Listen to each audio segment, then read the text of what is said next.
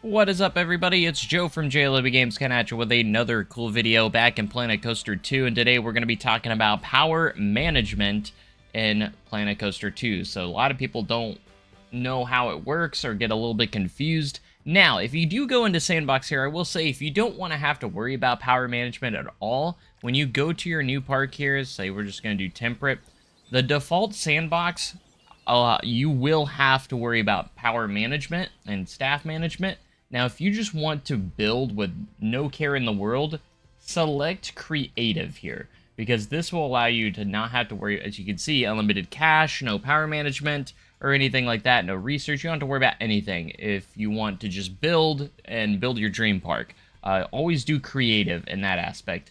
But if you do want to have some management features, uh, you can choose the other ones as well. Challenge or default. Default, again, you're going to have to worry about power management. So Anyways, um, that's just to get started. Like, you don't, if you're in Sandbox, you do not have to do power um, if you don't want to. Just make sure you're under the creative um, preset. Um, so, but we're going to be talking about power management today, so we're going to do the default so I can show you how to do power management. So we're going to load this um, build up with our management features turned on. So we do have unlimited money. However, we are going to have to worry about power. So let's say if I go in and build a coaster real quick, let's just build the Minder, why not? You're going to notice it's going to have this icon up here, and it doesn't have any power to it. So we're going to have to supply it with power. So there's a few things when it comes to power. Uh, if we go to Create Custom here and go to our Utilities under Facilities, we're going to go to Utilities here. Um, and you can see that we do have our power options here. We have a power distributor, a power generator, and a couple options for solar panels. Now, and then you also have your power cables to demolish or add a power cable. So there's a lot, of, uh, the differences between these are uh, very important. So the distributor is going to distribute your power around and it just needs to be near a ride. It doesn't have to be uh, accessible to your mechanics. It just needs to be near the ride you're trying to power. So you can see that circle, that is the area that it's going to cover. Now, if you do a power generator or solar panel, this is where you're going to want to put these uh, with your staff pads and everything. You need to put these in a place where your mechanics can actually um, uh, actually have access to. But if you'll notice here, your park entrances actually have power sources. So if you're just starting out on a park, if you just go ahead and plop down a power distributor over by your first ride just to get you started, and then it automatically gets you to your cable connection, you can actually connect these to your park entrances, and it will power your part your ride right up. So uh, when you're first starting out, you don't have to actually put down a power generator right away um, until you run out of power. And your entrances don't need servicing. So this could also be a thing. You could also plop down a ton of entrances and not have to worry about the mechanics servicing your power. They don't supply a ton of power, but you can see they can supply up to 120. And to see how much your ride takes or whatnot, uh, you'll just go over here um, and go into your tabs um, you can see operations that this uses uh, 33 power. So it's going to use 33 of that 120. Um, so you can see, if we go into our cable here, you can see where this is going off of it. It's also important you know where your distributors are connected to uh, as well. So we can connect all of these if we really wanted to.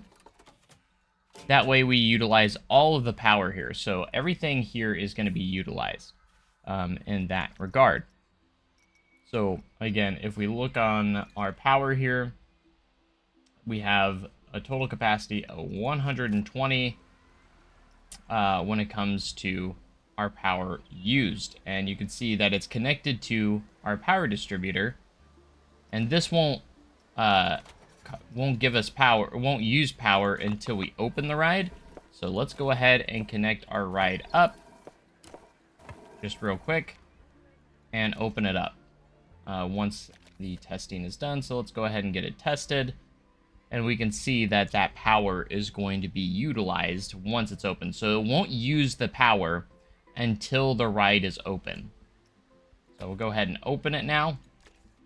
And now if we go here and look at our power, you can see power is not being used, uh, 33 out of 33 power being used for this distributor. If we go to the distributor, you can see the power available to that distributor from what we have. So we have 360 total, and we're using 33. So we can use um, 320 uh, set. We still have 327 more to go. So we can utilize that. So if I was to place another distributor, say, over here and everything, remember you always have to connect them too. This is not going to automatically be connected.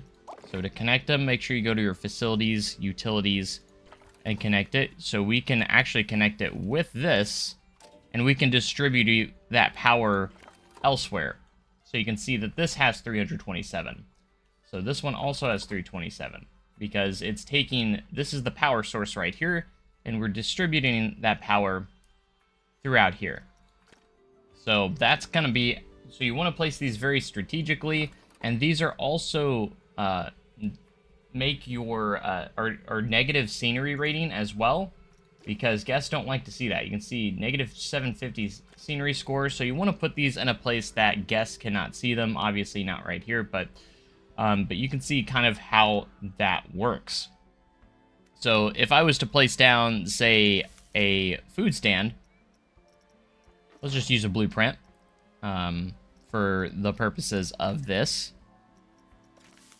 We'll go ahead and place a chief beef down. It will give you a check mark. That means it's within the distributor's range. And if we open this up, you can see it only uses 5 power. But if you look at the distributor again, it was 327, now it's 322. So shops don't take a whole lot. Your rides are going to be taking up the most. So just keep in mind, though, that it, this distributor only has 322 now as well, because it's going off of the same power source as this. So if you were to use all of this 322, you're going to have to need a new power source. Um, and for that, you're going to have to either place down a uh, uh, a generator, a one of the power generators, or the solar panels. Which the solar panels are pretty pricey. See, the small one's 10,000, the larger one's 40,000, or the generator is 500. So if you're on a budget, you're going to have to go with the generator. So let's take a look at the differences here. The generator, the solar panel, and the large solar panel. So if we look at these guys, you get 120 power available from the power generator. You only get 80 from the small solar panel, and you get 300 from the large solar panel. So obviously the power generator is a lot better than, I would say, than the uh, small solar panel. The small solar panel you don't get much. So just keep that in mind. And these need to be in a spot that you can that your mechanics can actually access. So you'll want these in a spot where your mechanics can get to. So you'll want to make sure you have either a staff path. We'd use I usually use the stamp builder, of course. That way, your mechanics have access to the spot. Because they're going to have to service them. Because if you look at here and go to maintenance, you can see that once they start degrading, you're going to get a condition penalty, and it will actually degrade, and you will lose an amount of amounts of power as well. So you want to make sure that you have some mechanics that can take care of these. And a good way to do that is if you click on their staff schedule, you can see here. Um, so if you go, again, to get here, click on them, go to staff schedule, click on their staff schedule. You'll click on one of these. You can see where the break is. Go to advanced settings. and then if we go to specific ride or machine, we can click on this and you can have them assigned to that. If you really want to. So you can see here, they're assigned for power generator at 8 to service and repair. If you click on this again, advanced service, you can actually do apply all day. And he will service this all day, except for when he's on break uh, at the hour 15. So what you can do is for your other mechanic, say you have a second one, you can schedule them to service that when they're on break. So I usually typically have mechanics that have specific tasks for the day for one thing, and then I have like kind of a labor pool mechanic that takes care of their breaks, that breaks them. So, um, so you want to make sure that they're doing that, and then I could say I could schedule the other one to service the other one. But as you can see, I don't really need these at the moment until I use up all the power here. So just remember that um, you can use your park entrances as your power source, and they don't need servicing.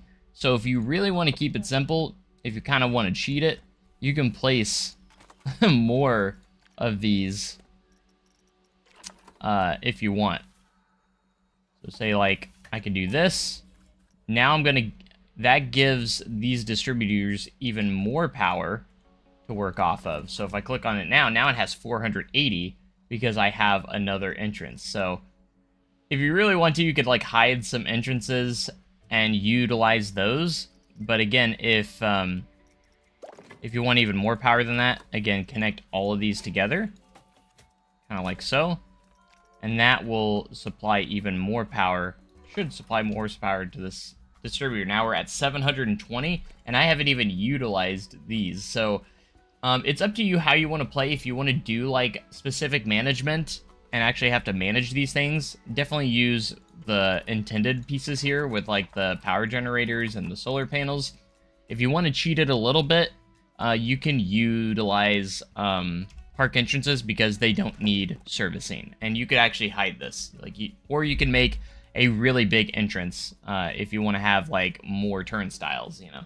Um, because again, I didn't know right away either that these actually supply power, and they don't need servicing. So it's an easy power source to use.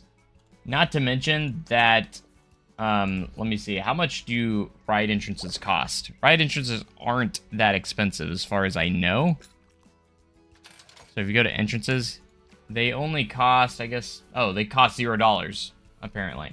So They don't even cost money to build. And you can basically get a ton of uh, power from these. So now will Frontier change this uh, in the end? Maybe. Uh, because it is kind of a cheap way to get your power going. And now that I attach those, look at that. I got 960 power now. Just from these entrances alone. Now, if I wanted to, we could attach these two and get even more power but that's totally up to you. Um, but yeah, just remember whatever you attach it to, like this will add on. So if I attach these, it will supply even more power to these. And now we'll probably have like a ton of power in this. Yeah, 1460. So it just kind of based on how you want to play. And again, these distributors just distribute power. You don't have to have, maintenance doesn't have to be able to access these, you can put these anywhere you want and just kind of hide them wherever. So, again, it's just up to you if you want to have the challenge of and playing a little bit more with management, use these ones. Um, if you don't want to and you just want to have free power, not really free power, but like no servicing power, where you don't have to service anything, use the front entrances. And you can kind of hide these in a building or something if you want to. so, that's the easy way to do it. Um, the uh, same cannot be said for water. Uh, so we ha do have to do, if you're doing water parks and stuff, you'll want to utilize your water as well. Might as well go over these. They work very similar. You have to filter your water to keep your water clean. So the water filters are the same as the distributors, and then you can use, say, like these, um, you can use a water tower or a water pump, um, or a wa underground well as well. These can also be used. So, and that will utilize, uh, your filters will give your, uh, you can see water available, um, and that will help with your, um, your water parks and your water slides and pools all need to have those. So that's gonna about be do it. If you have any questions in the comment section, guys, let me know. But power and water is actually pretty simple to use if you know how to use it. Um, but I've had some requests on how to use them, so um, that's basically how you use it. Um, if you're just wanting to do a sandbox park with no management, again, be sure to click the creative option. That way you don't have to worry about uh, any of this. Um, but um, if you're doing a sandbox park, um, uh, remember you can do that, so you don't have to worry about manage uh, electric management if you don't want to. Um, but anyways, that's going to do it for this, guys. I hope you guys found it useful, um, especially on how how you can use your entrances as a power source. So, but thank you guys so much for watching. Again, if you have questions the comment, let me know, and I will try and get to you if I can. So make sure you guys have a great day and a cooler tomorrow, guys, and I'll see you guys next time. Thanks, and goodbye.